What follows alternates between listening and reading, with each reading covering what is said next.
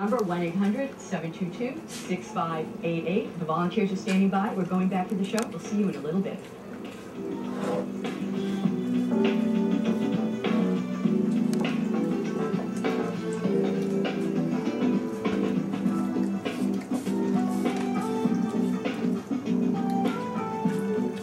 You're watching NJN Public Television. Happy Memorial Day, Bubby.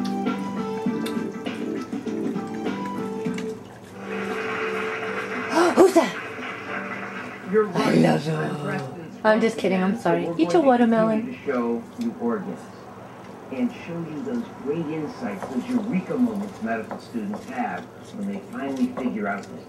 And this one's a big one they figure out.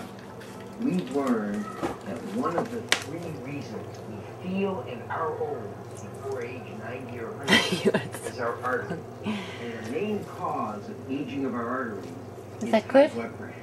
Is that good? High blood pressure does something else too. It makes you hurt big. Now you'd think that a big heart would be better, right? And squeeze and pump more blood. authorities here in Rome. All right, this woman Lena, she's blackmailing you. I can't go to the authorities. I can't tell them anything. I can't tell anyone. You just did. Yeah, well, maybe that was a mistake. I just I couldn't walk around with it anymore. Oh, you have to swear to me you're not going to tell Fancy anything. I mean, she could be killed if she knows anything about this. I won't tell Fancy anything. Good girl. But I wish you would. What difference does it make now?